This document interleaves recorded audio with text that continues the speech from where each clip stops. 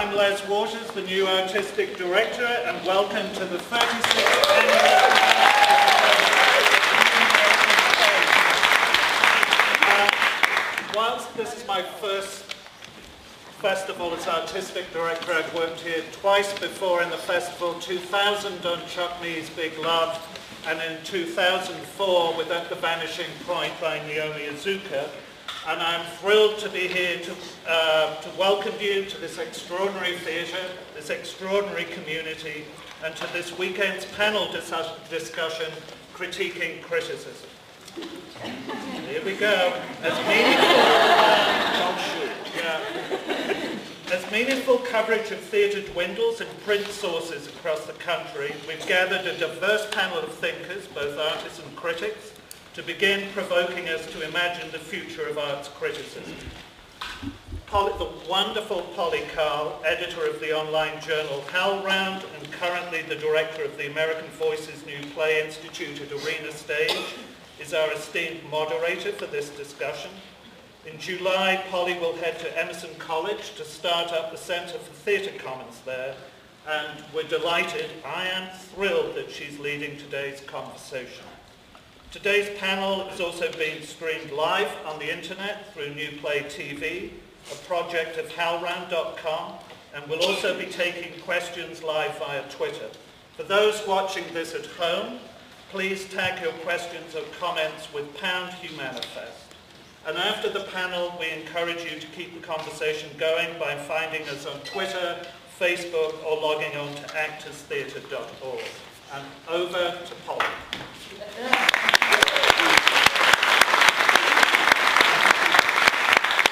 gonna, oh, it works good. Uh, so I'm gonna have the panelists introduce themselves, uh, then I'll uh, frame how we're gonna uh, do this, and we'll rock and roll. So do we wanna start down, Sasha? Do you wanna start and introduce? Hi, I'm Sasha Anawalt, and I direct arts journalism programs at USC Annenberg School for Communication and Journalism, and I'm also the publisher of Engine28.com. Hi, my name is Deborah Stein. I'm a playwright. I've worked here twice, and I'm currently based in New York, and I uh, co-ran a theater company in Minneapolis as well for a number of years. And my name is Thomas Graves. I'm one of the co-producing artistic directors of Rude Mechs in Austin, Texas, uh, we performed the Method Gun here two years ago. Hi, my name is Ilana Brownstein. I'm the director of new work at Company One in Boston and also the founding dramaturg at Playwrights Commons, which is a playwright development organization. Hi, is this on? Yes. Hi, I'm Diep Tran. I'm the editorial assistant at American Theater Magazine, and I'm a freelance journalist in New York. I'm Bill Hirschman. I'm the editor, founder, and chief critic for Florida Theater on Stage. I'm also on the executive committee of the American Theater Critics Association, as well as the chairman of its New Plays Committee.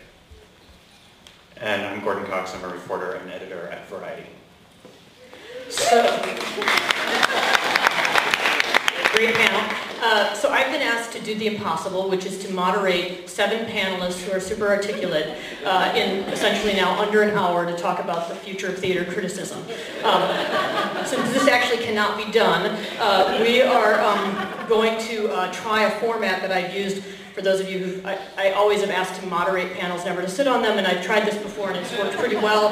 So what we're going to do is, um, is kind of, I'm a big sports fan, it's out of ESPN, uh, if you watch Pardon the Interruption or Around the Horn.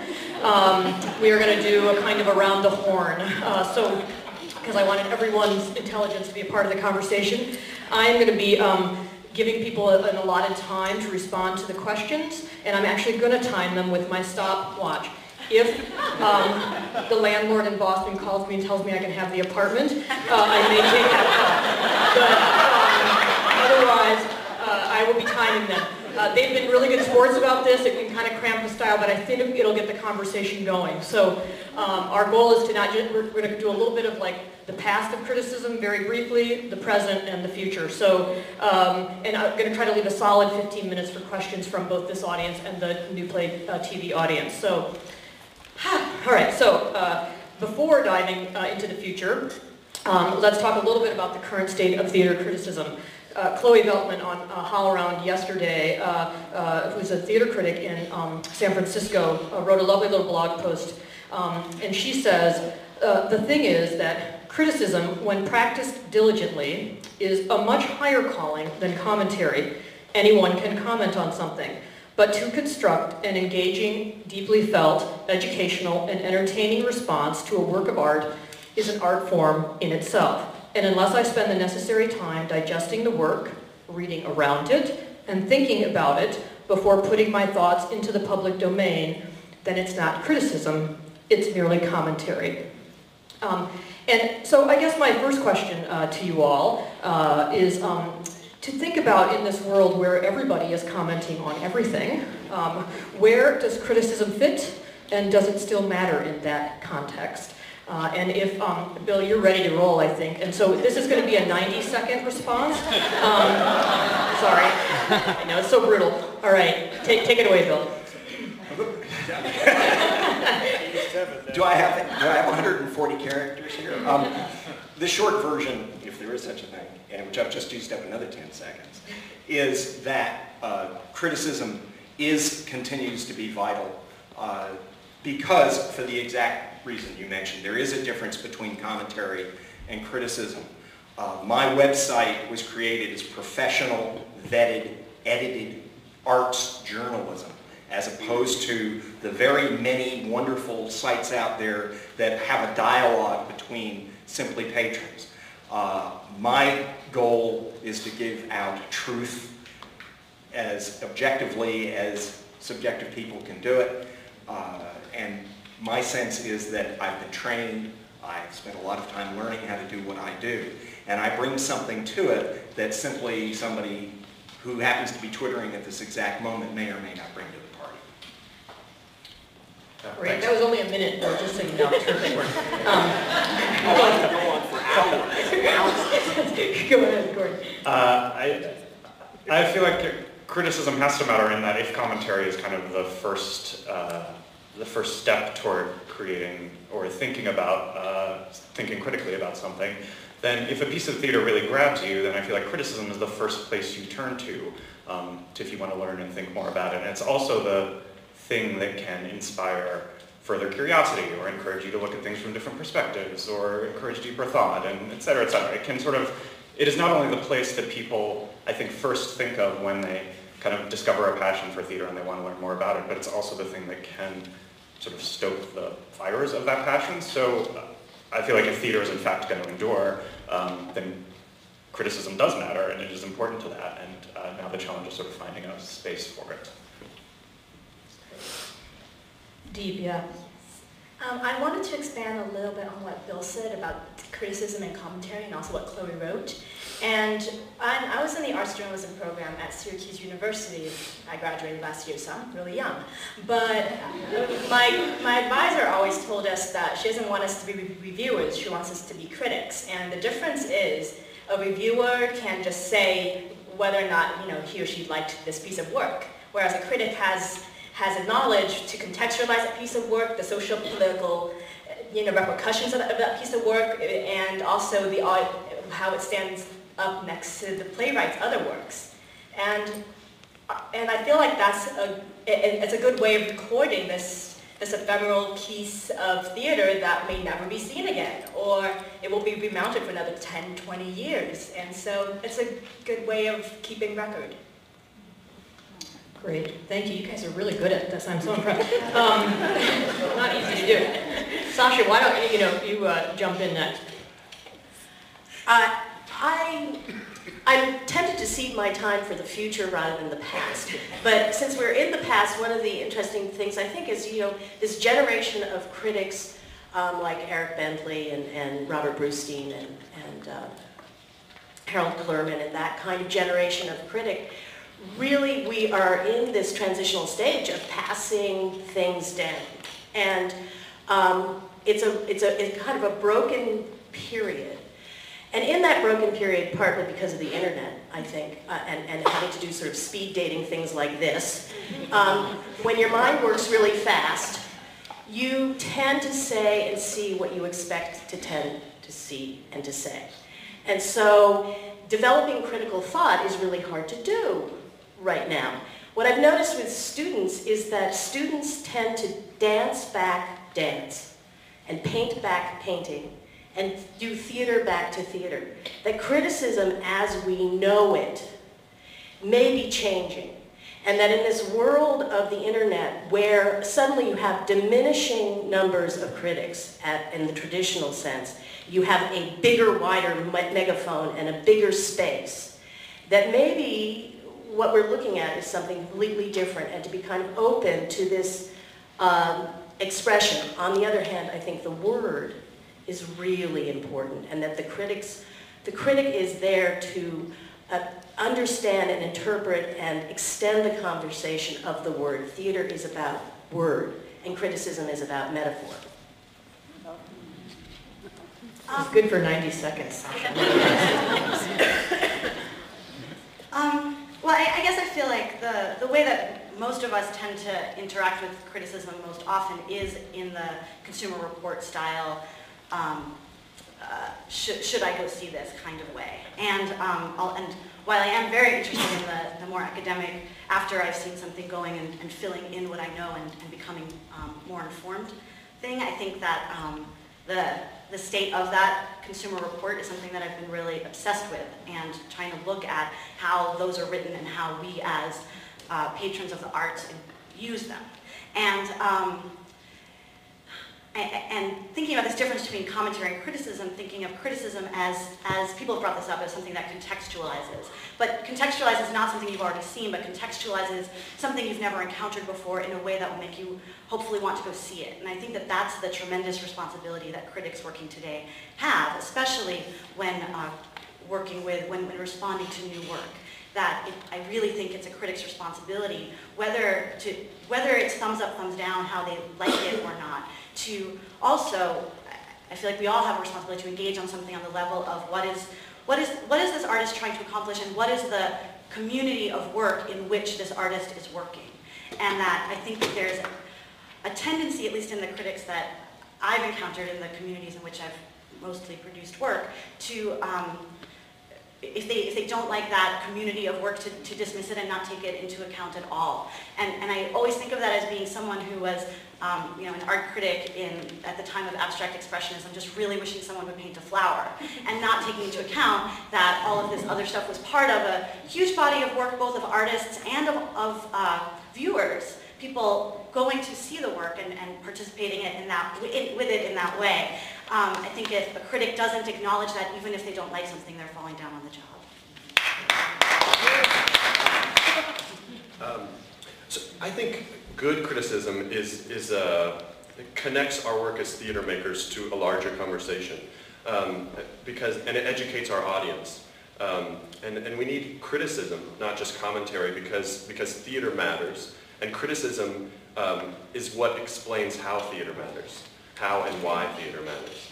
Um, and good criticism makes this, uh, makes this case by discussing how uh, successfully or unsuccessfully um, theater engages with the world around it. Um, I think criticism is very different by locality uh, where it's based. And in Austin, Texas, we look for critics that can help our audiences understand how the Rude Mechs shows are in conversation with uh, contemporary performance happening elsewhere. So that's one of the ways in which we, we can benefit from really good, honest uh, criticism and not just commentary. And I think also uh, a, a, critic is, is both, um, criticism implies uh, focus and commitment. You know, a, a, critic comes back again and again to the theater and focuses mostly on theater, whereas commentary, they may see a play one time and not see again a play for another, a whole another year. Um, and, and as a collaborative theater artist, we demand commitment and focus from our, our collaborators, and we uh, expect the same from, from critics. Um, I'm glad I went after you guys because uh, this thing about, about collaborating with a critic I think is really important. Um, I'll just share an anecdote. Uh, earlier this week, uh, my company in Boston uh, opened a new play um, by a young writer and it's a workshop production. And, and, a little bit late in the game, we found out that the playwright didn't really want reviewers to come, which is fine. Um, it, it, meant we had to scramble a little bit to figure out how we were going to communicate with our press who had already been invited.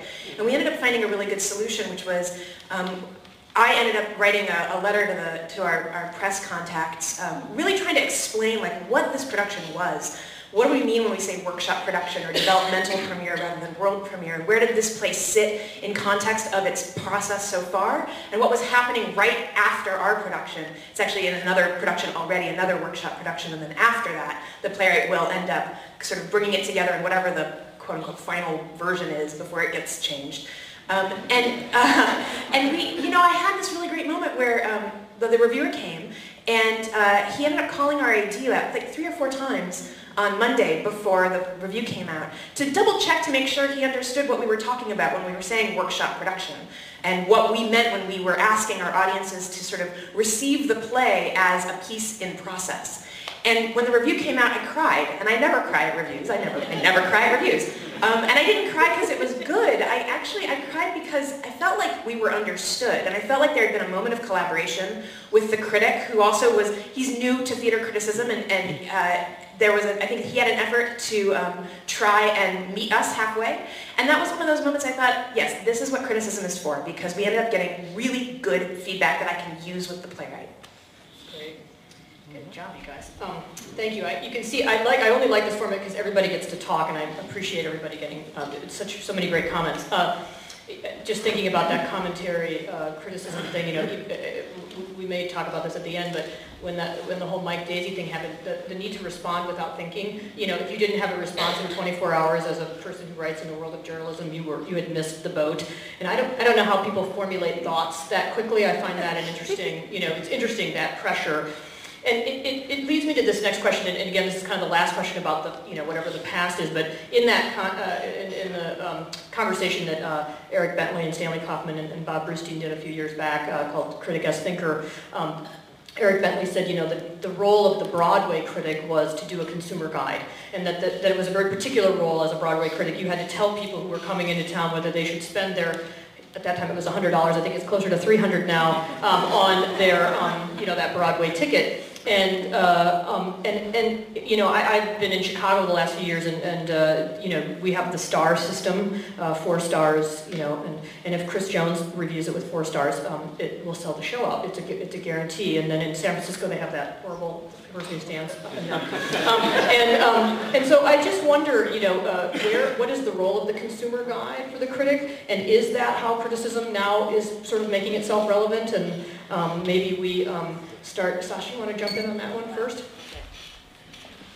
And this is, oh, this is, this is only a 60 second uh, response. Sorry.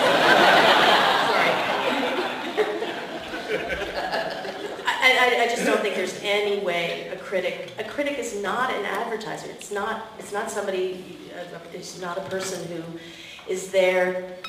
When people behave um, in the thumbs up, thumbs down kind of way, you tend to begin to know much more about what that so-called critic or reviewer, I would call that person a reviewer, um, is thinking and who that person is, rather than what the characters are thinking.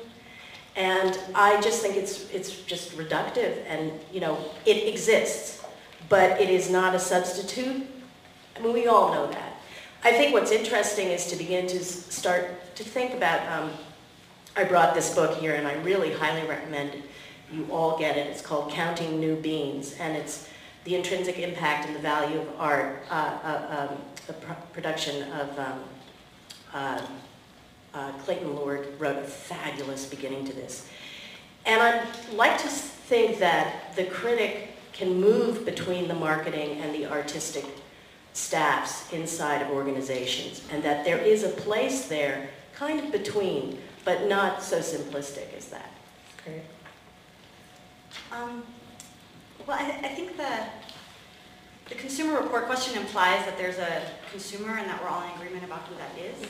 And I, and I, and I, and I find that more and more to not be true. And I feel like the, the best reviews that I've gotten are not necessarily the most positive reviews, but the ones that were able to, um, I think, uh, translate the work for audiences who might not necessarily be already interested in either the work that my company was doing or the uh, specific theater that it was being produced in, right? That we're, in a way, in the theater very tribal.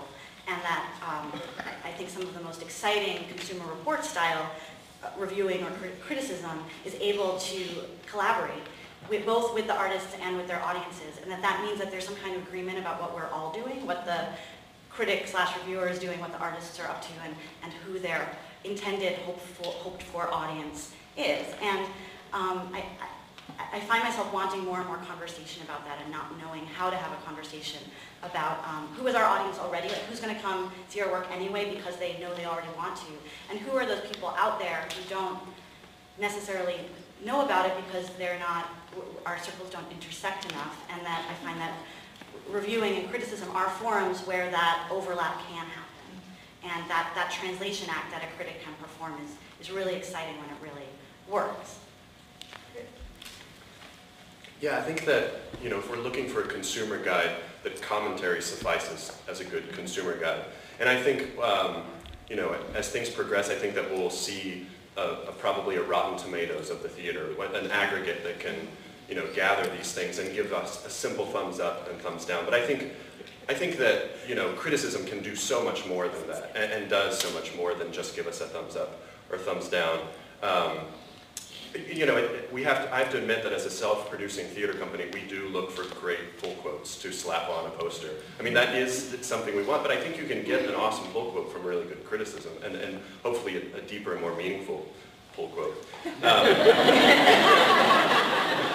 uh, but, you know, speaking to this idea of, of, of criticism, uh, you know, and working with critics as collaborators. I think it's hugely important in Austin, where we've had a community of, of, of critics that have been around since the inception of our company in, in 96. And so they have a really good context for our work and can bring a real depth to, to their criticism. And so when we do a musical, which we've never done before, they can put that in context and help make sense of that to our audience. Um, and, and the other thing that in Austin, um, they do such a good job of nurturing new work and understanding that, you know, some people getting together in a room and just experimenting and not, and not judging that, uh, but really uh, have been really able to foster uh, what Austin is, which is a, a community of, of people making new work. I don't want to jump the gun into the next question, which I know is coming, but um, uh, I have found, for, for me, I have found that I discover better criticism on blogs and more reviewing in print media. Um, that's just where I'm looking.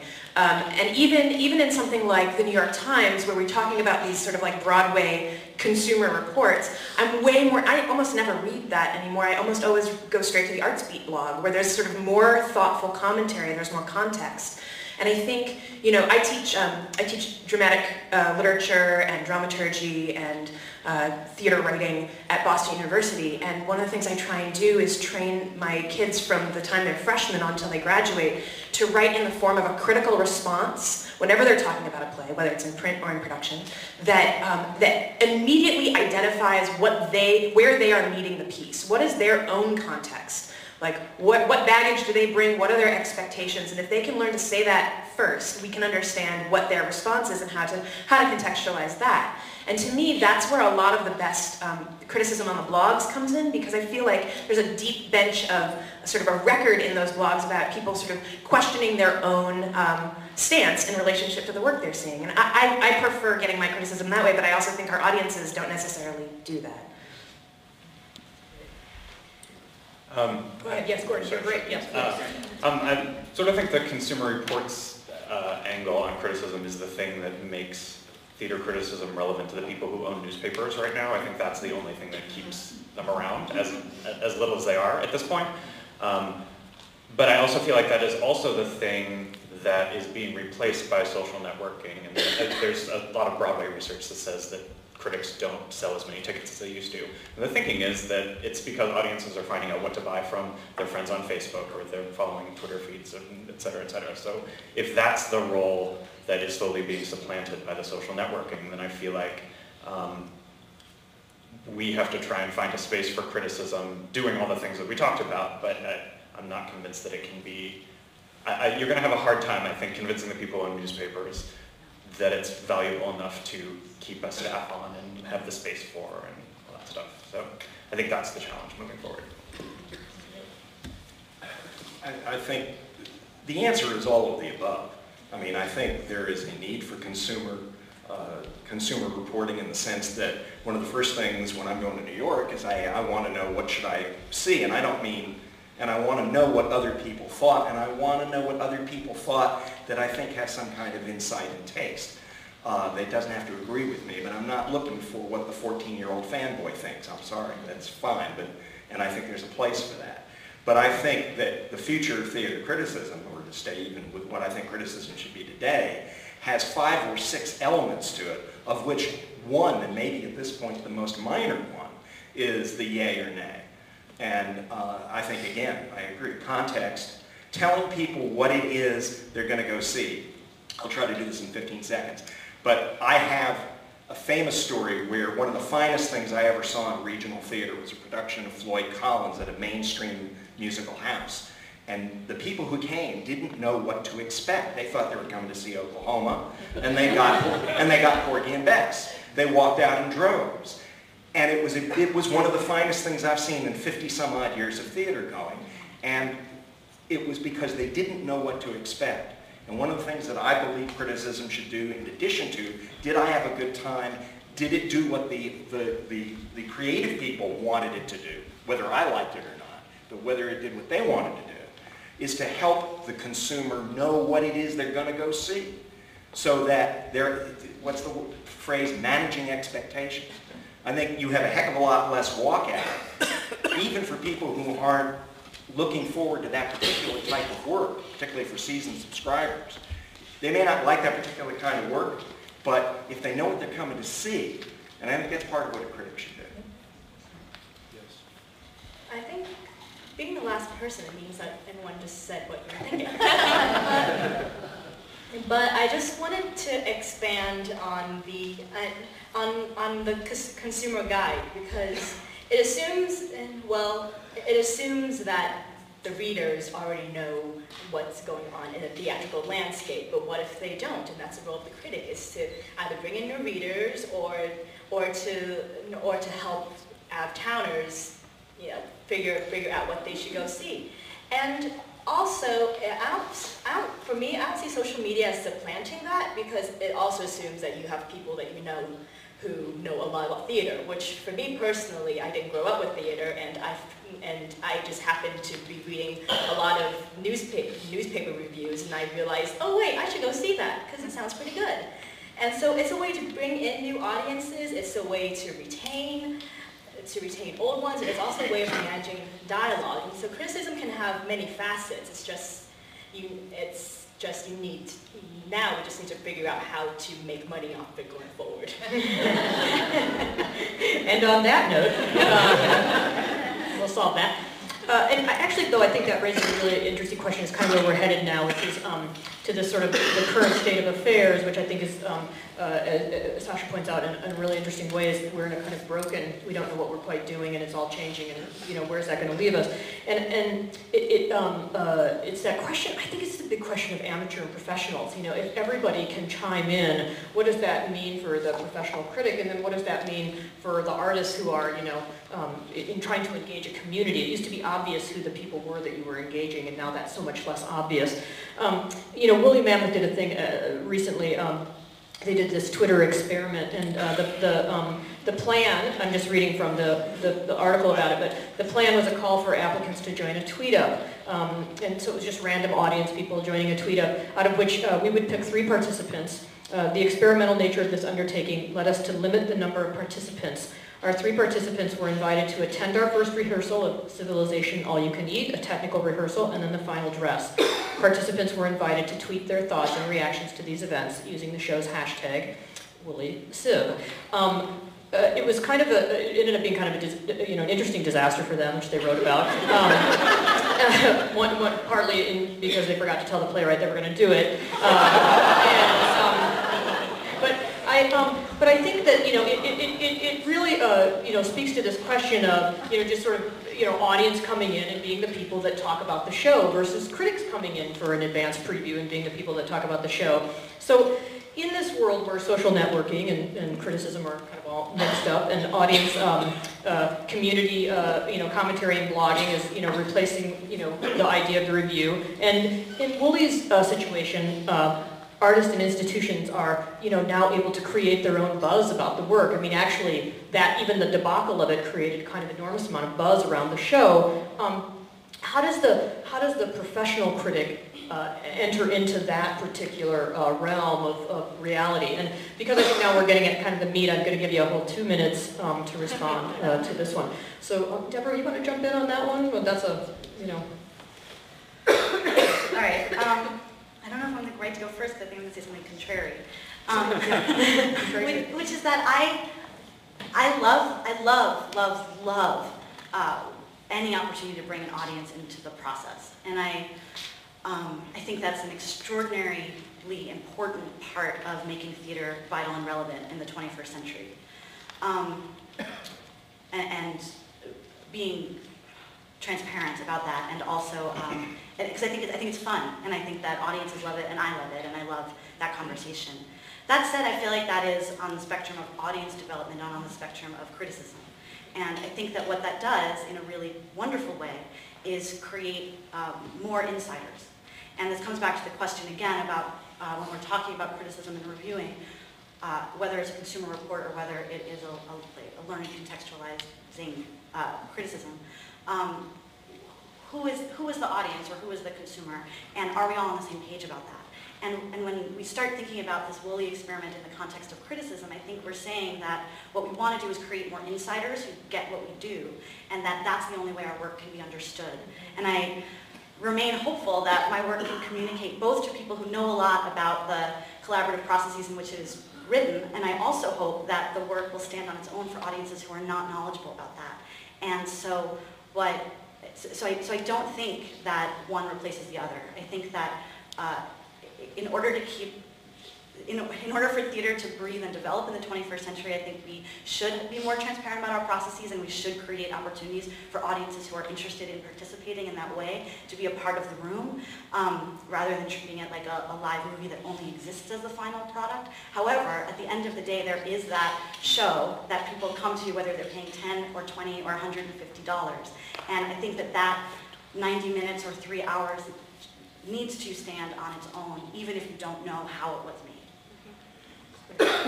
Sasha, or, or Tom, or either one. Yeah, go ahead, Tom. Um, well, I think the, the tweeting and things like that that is happening now, I think that these give the critics even more purchase. Like I don't, I think that the critics can use these things. I don't think that they necessarily displace the work of the critic. Um, it gives them access to varied opinions and, and they can use these YouTube videos and and blog posts and things like that that theater companies are putting out um, to deepen their, their knowledge of the, of the piece. So I don't think that there's necessarily a displacement there. I mean, I think the, the landscape is, is definitely changing. Uh, Jill Dolan won the Nathan Award for Criticism this year. So it's the first time that a blog has won uh, this Critics Award. Um, but if, if, it's a, if it's a sign of changing times, I think it's a sign, uh, it's a good sign. Uh, Jill Dolan's blog, Feminist Spectator, is one of the best um, uh, sources of criticism out there. It's just brilliant. And one of the reasons, one of the many reasons that it's so insightful and passionate is that she has uh, an infinite number of words that she can work with. So she often does uh, write very, very lengthy uh, reviews. Um, and, and, and it's because of this new technology that, that, that she's able to do that. Um, yeah, and so, and so I think that, yes, I think these things can, can coexist. Um, you, know, I, you know, plays written by playwrights, um, produced in conventional ways, don't, uh, can coexist with um, new work uh, devised by ensembles in the same way that criticism can, can live side by side with uh, consumers and, and, tweets by audience. Um, they coexist and they're, and they're better for it. We're, we're better for off for having more. Although I do mourn the loss of jobs. I think we're seeing this, this breakdown of, of work and leisure in our, in our society because of these new technologies. The fact that I carry my work email around with me all the time is always accessible. The fact that we're now doing the work of the cashier, checking ourselves at the, out at the grocery store, just these little ways that work is entering into our, into our leisure time. And so it is a loss of jobs, I think, um, as people uh, lose positions, um, like the movie critic at the Village Voice who recently left. So I, I do, I do more than that. Um, so I, I have to take issue with the idea that, um, that you know, and I don't know that it's, that it's present up here, but that the, the internet is like some damning thing that, you know, that, oh no, criticism is dying, because the internet, I think Jill is a great example of how it's not true. Um, and I also don't think that Twitter and Facebook are just for 14-year-old fanboys, you know, and that I, for me, uh, I'm on Twitter, and I use it to have much larger, grand scope conversations about the American theater than I ever had before I was on Twitter. And the reason is, is because I have reach out to people who otherwise I would not be able to speak to because of the hierarchical nature of all kinds of things. So like, for example, um, I'm really thankful that Peter Marks is on Twitter because he's a really interesting and thoughtful guy, and he has a lot of things to say that don't get into the into the published uh, critiques that are in the newspaper. And he, you know, I find it really um, valuable to me as a person who makes theater to be able to like have that conversation with Peter Marks or with any of the other people who otherwise I don't have access to, whether it's artistic directors at large regional theaters or critics in other cities or critics in my own city, um, that otherwise there's not really, sometimes there's not a method by which you can reach those people with like your short 140 character, no stakes question. Um, one of the things that Twitter has done is that it's made it possible to have sort of more contact. And it gets back to my thing about how I think it's more important for us to collaborate with critics than to sort of create these divides. And um, I, I, guess I guess I'm just really thrilled by the advent of social media because it has given me way more access points than I ever had before and it's enriched my life as an artist and it also means that I have more access to more kinds of criticism which um, also makes my work better. Uh, so the more I get to talk to the critics, the, the better I think it is for everybody. Um, and that's something that I couldn't do before Twitter and Facebook because otherwise it was sending an email to the newspaper and hoping they, they got back to me and they didn't think I was trying to buy them off or some other thing. So, uh, so yeah, I guess that's that. You want, or I'll, I'll come back to you and I'll go this way deep because I don't want you to have to go more toward the end again. You were there the last time, so. Oh, goody. Okay. Um, well, it's, well, I used to, I used to have this almost pathological hatred of Twitter just because I, I, I, I am old-fashioned by nature and I realized, I, I thought it was just like everything indicative of everything that was going wrong in the culture. Everything was just so fast-paced and you need, today's news is yesterday's garbage and it won't be relevant a week from now and not much less to say a month. But now I realize Twitter and Twitter and Facebook, it's just a great way to encourage interactions, both between critics and artists, criti artists and audiences, critics and audiences, and it just opens up more ways of more ways of having dialogue because before it used to be it used to be there was this iron curtain up in terms of theatrical, like what was going on behind the scenes. And now, like, and now, and now audiences are encouraged to come in, tell, tell you what they think, and tell critics and journalists like us what they think about what the heck we're writing. Some, most of, most, most of the time it's not very good. But, and so I, I find that it's, it's a mixed blessing. And also now you can, you can get information so quickly. And for, and for journalists, it, it allows us to get to be right in, right in when, when that news breaks. Because when the Mike Daisey thing broke, I found out via Twitter. And then uh, uh, 30 minutes later, there was, a, there was blog post after blog post that, were being posted. And so it's, it's just, uh, it's, I feel like it's just indicative, indicative of the, this culture that's just moving faster. And either you keep up with it or you fall behind and get run over. Wow. I came here spoiling for a fight. In fact, it's really encouraging to hear what everyone said. Uh, I'm a dinosaur. I started with the uh, uh, uh, doing criticism with the monks with the illuminated manuscripts. but I, like many of my generation, have embraced technology, and only a fool, meaning most of the uh, print publishers in the world, only fools don't recognize how you can take professional, vetted, edited arts journalism, which includes criticism, and not only put it on a cyber platform, and, but do wonderful things that you couldn't do before as far as interactivity, being in contact with the people that you're communicating with. Only an idiot doesn't recognize what a wonderful tool the internet has been.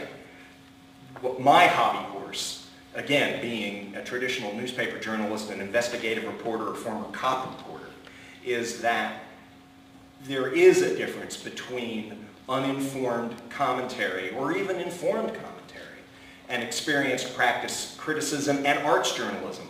Uh, we probably won't get to, to the Mike Daisey thing, but there is a search for truth that both artists and journalists are looking for. But my truth has nothing to do with trying to sell tickets. Newspapers, yes. But tickets, no. And I don't care where the chips fall as long as it improves the society and the art form in an overall sense. And I've got a higher, I shouldn't say higher, that's not right. But I, I, I am adamant in making a differentiation between people who merely have commentary and people who are professional journalists and analysts, and that also includes academics who are writing reason criticism. And one last thing along those lines, one of the best things about the internet is, I'm sure Gordon can tell you, everybody's space has shrunk. And the ability to make cogent, intelligent observations and analysis has evaporated, particularly in the regional publications and region. And the great thing about the internet is that I have the room not to go on forever because people on the internet don't want to read forever either. But to go on and give cogent, intelligent, and I have space to do it. And as you can see, I can talk a heck of a lot longer than two minutes. I'm not sure I have anything particular to add to this other than I feel like we've just answered the question, which was where is how is criticism finding space for itself? Yeah. It, it's doing it online with these blogs that don't have word counts and that don't aren't sort of subject to the editorial and budgetary whims of, uh, of uh, you know a newspaper. So I think that's where it all where it all lives now. Um, yeah, let me just like, let me let Sasha finish up here and then, uh, No, it's no, okay. no, you go ahead, You go ahead. Jump Oh. in. And I, I take umbrage at, at, at the, you know, at, at the vilification of 14-year-old fanboys because,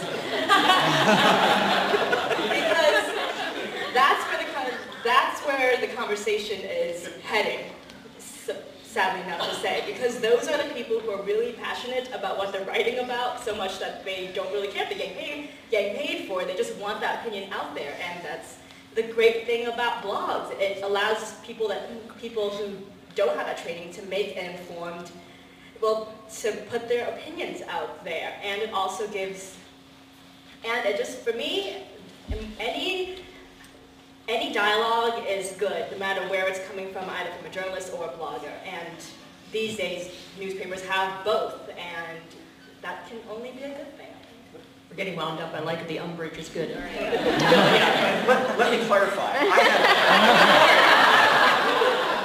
I have nothing wrong with a conversation.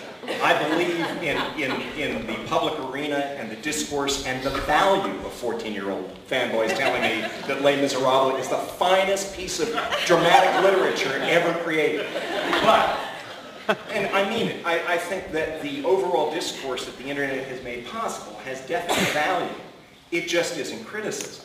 But it has great value in, for instance, critics having some idea what the heck is going on in the interaction between artists and audience. And I learn a great deal by, not from Twitter, but from other places that involve social interaction. So I'm not, I'm not dissing social interaction.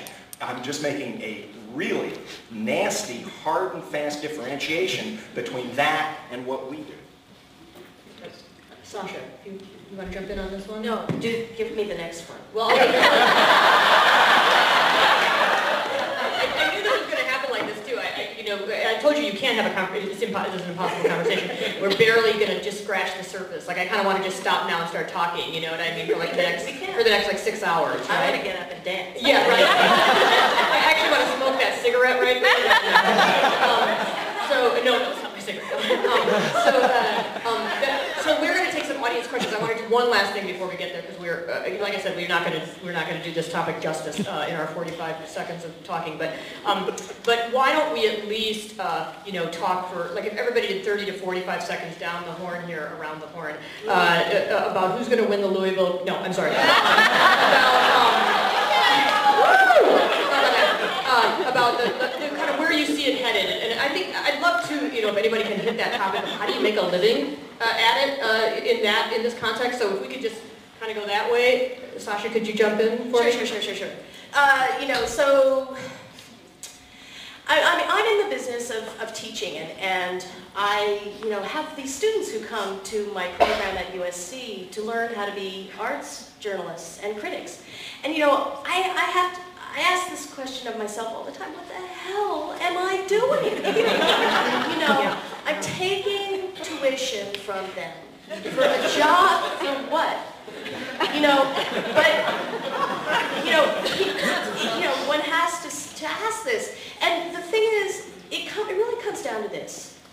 Anybody, and in our program we now take art artists, because um, people who are in the arts, who love the arts, I mean, what we're really talking about is that seminal, it's all in this book, and it's a great book about impact and about memory, and those experiences that you have where you want to tell someone else.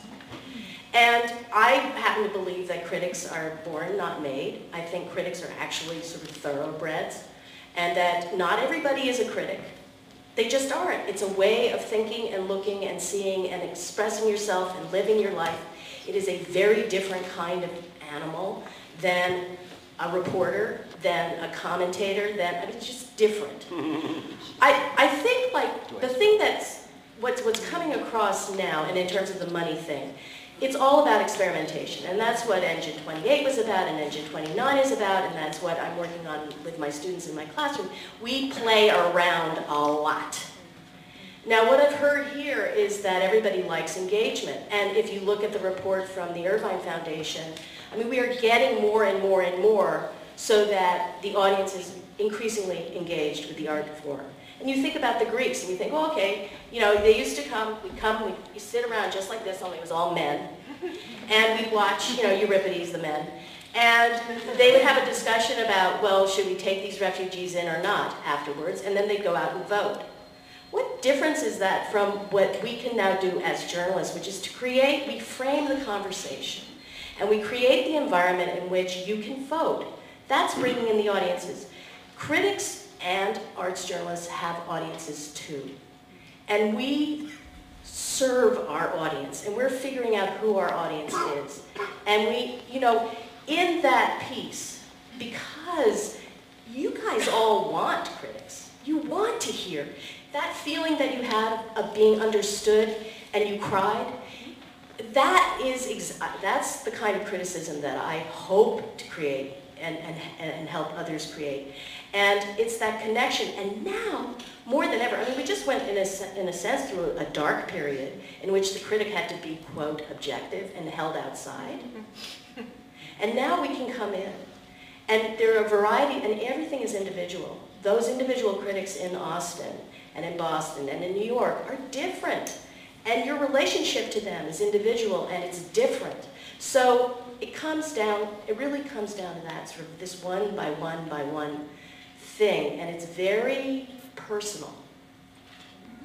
Uh, Thank you. And Sasha had banked time. She asked me about the ba- in the green room. it, honey. She asked me in the green room if she could bank time, and then she did it. So, um, uh, the, um, uh, uh, so, so like a 30 second around the horn and then questions. So, What was the question? say it's like future theater criticism, for God's sake, something like that.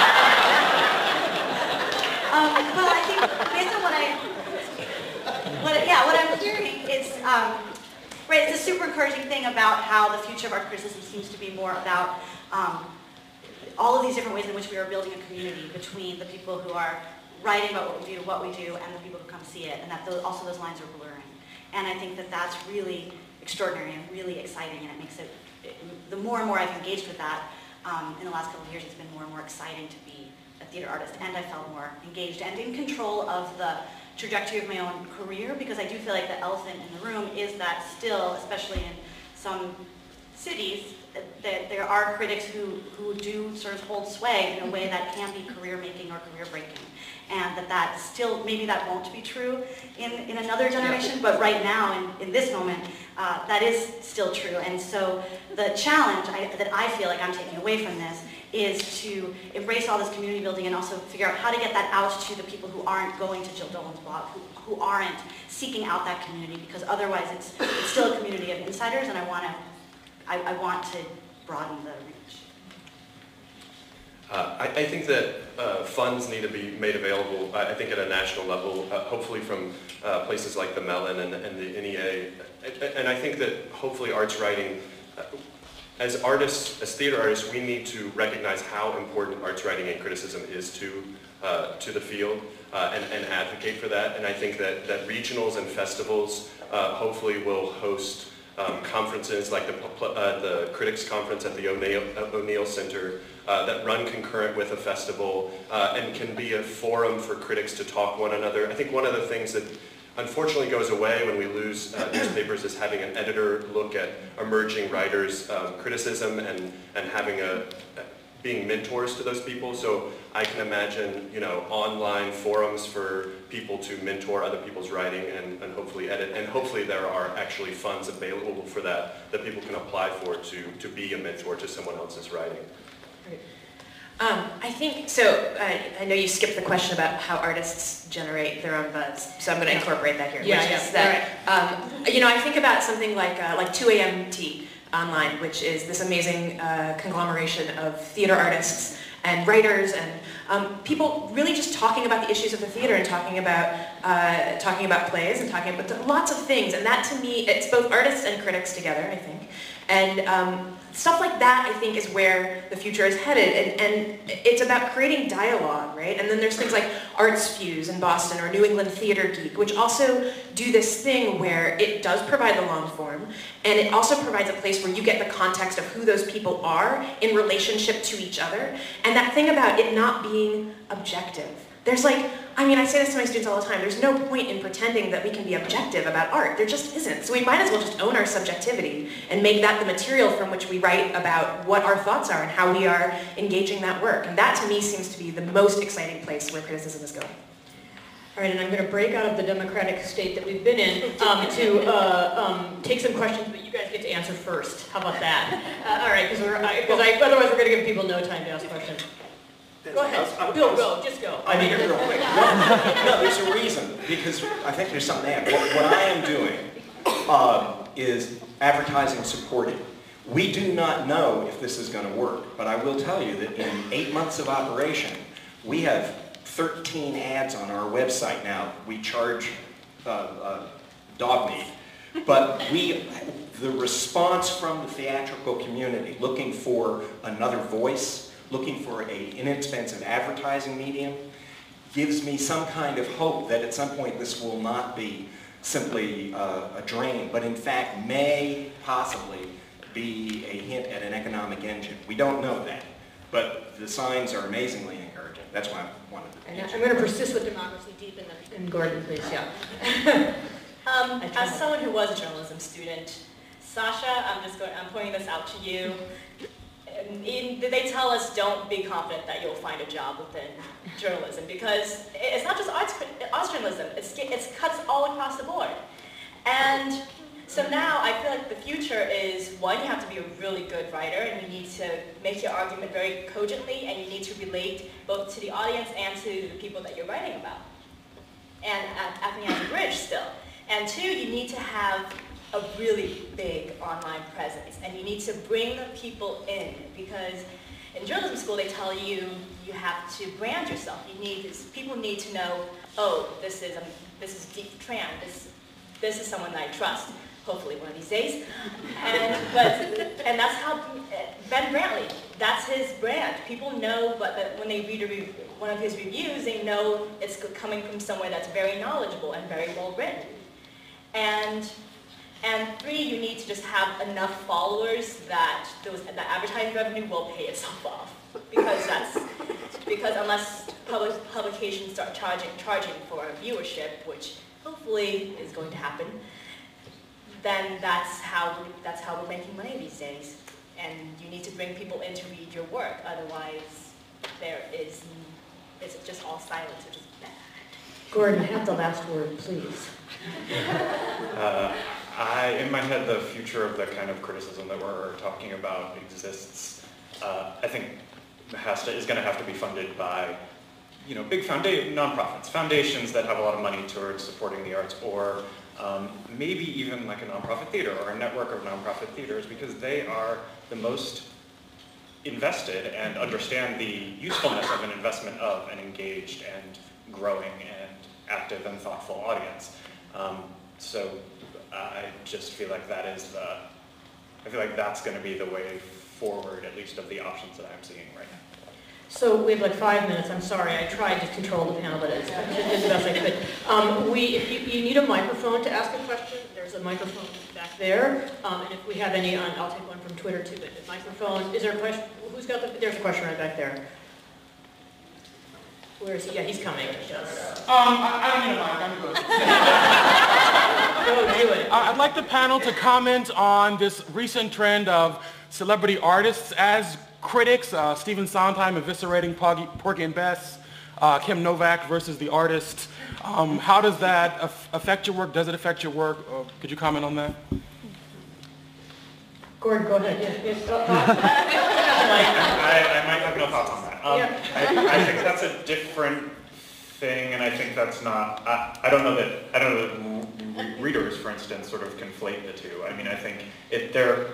It's sort of another version of the social networking version of the the audience. The, the conversation is just growing and growing, and everyone has that has their voice, including Kim Novak about you know the soundtrack to the artist. So it's just another one of the voices that we can now hear in this sort of increasing cacophony. We would love it if Stephen Sondheim would come see our place. Um, actually, the, the Wall Street Journal is doing um, this thing where they're having artists that they like and admire choose a play to go see, and then the critic goes see the show with this artist, and then they have a conversation about it, and that's what runs in the Wall Street Journal is this conversation between the critic and the artist about this, this third work. And so I think that artists talking about other artists is, is awesome. Yeah, they're doing this thing at the Fusebox Festival in Austin where they have artists impersonate the, the so they, the artist goes to see another artist's work and then they have a talk back where they act like they made the piece and, and the audience asks them questions and they act like they made the piece and talk back about the piece that they did not make. Go ahead, uh, question. Hi. Um, so I'm a I'm here as journalist, but I guess I'm primarily a director, and I work on staff at uh, Off Off Broadway Performance Venue. And I guess I have always wondered why there are not more practitioners in arts journalism. Besides the obvious conflict of interest, I actually think it would be incredibly interesting to have either an eminent, you know, say, former artistic director with a, you know, 40-year history in the theater to comment on the theater that he sees in his city, or a working practitioner commenting on other theater performance that's at the level that they work in. Um, one of the blogs I write for does have a mix of playwrights, actors, and directors actually writing about the scene that they're in, which I think is brave and, and scary a little bit. But, um, but gosh, I think it's, it's missing, you know, and I think it's what makes criticism for me sometimes feel rarefied. What does an Isherwood or something have to do with or know about the process that happened? Maybe I can lend a little light on things from lighting design to other stuff that uh, someone who has a straight writing background might not have ever had familiarity with. And I wonder what you guys think about that, and I don't mean to be dismissive of straight journalism or writing backgrounds, but um, I've always wondered why we don't have a sports type thing of like famous ex-sports players sitting behind a desk, famous e economists comment on business. Why, why can't famous eminent theater people be allowed to comment on theater and writing more? Um, so, okay, I'm, I'm not a famous theater person, but I will say that uh, I trained in criticism and dramaturgy, and I often have these urges that I um, sort of stifle every six months or so to sort of start uh, a place where I'm writing about the theater I'm seeing, but I don't do it because um, one of the reasons is, is that I, it hurts my heart sometimes to, to, uh, to be critical um, to people who I, I love and who, and I think that that is one of, I mean, I can't imagine that I'm alone in that. And so it's, it's I have a, actually have a constant little war inside about that exact question. Um, and I wish, I wish that I were braver, but uh, I'm, I'm not. Here, you talk. No, I, just, a, just a quick point of history. I, the New Yorker has always had, uh, John Lahr uh, won a Tony um, Dorothy Parker wrote there, S.J. Perelman, Truman Capote, Tennessee Williams, they all wrote for the New Yorker, so there is a tradition of that. That's great.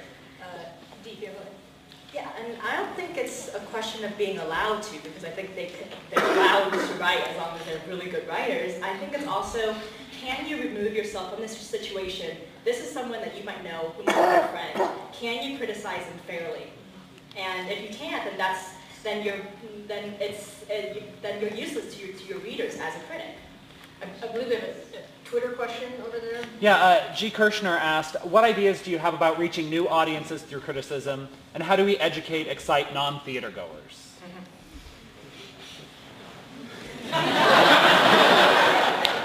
I have another one. yeah. Um, uh, what ideas do you have about reaching new audiences through criticism, and how do we educate, excite non-theater goers? The, uh, the, the, okay, Alan Brown has this thing about, um, he talks about anticipation. And he talks about how the experience, the impact, apparently the impact on your audiences, if you're a theater owner or playwright or any of this, um, the more an audience is anticipating something. So the more they know beforehand and the more they're given the opportunity to discuss it afterwards, which is kind of where I think journalism does come in, perhaps. Um, that, that uh, oh God, now I'm looking at you and I'm completely lost the, the space, the question on this. But, uh, um, but there is an opportunity there, I think, with criticism and, and also, I don't think criticism is, you, you keep referring it to sort of as a thumbs up, thumbs down sort of thing. I think it's the discussion and the conversation. And um, that there is an opportunity here actually inside of the theaters themselves. Can, I, I was just going to say simply that what most of us that are critics are trying to do as far as reaching new audiences is obviously leveraging the internet. Uh, I use Facebook a great deal uh, and several people are using Twitter, and then using that as word of mouth as the next step in the word of mouth chain to tell people that we're out here and what we're thinking. I think there's actually, um, as much as I love the social media, which I've just now gone on about for an hour, um, uh, I also think that we have a problem, which is that there are a lot of our portions of our audiences that are not using that at all. And so how, and so maybe those people are actually more in touch with this consumer reports model. So how, is there a way, and I don't have an answer, is there a way to harness the consumer reports model and include other parts in that so that there's an audience who can, who can find other ways to get excited about things that don't mean they have to be on Twitter and Facebook, because a lot of people aren't. Okay, it's 11:33 and there's like 15 hands up. Um, So I, I think I I have to, um, we have to take it outside because there's a crew and there's a play and that kind of stuff. Um, So, uh, so I'm sorry, I'm sorry we don't have more time. Thank you very